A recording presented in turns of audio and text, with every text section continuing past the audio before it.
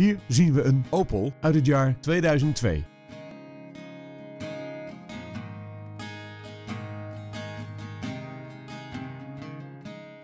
De aandrijving komt voor rekening van een benzinemotor en een handgeschakelde vijfversnellingsbak.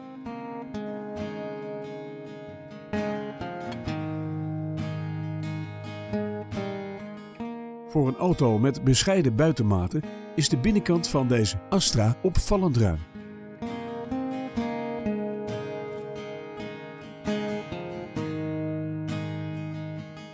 Tevens wordt deze auto geleverd met Nationale Autopas.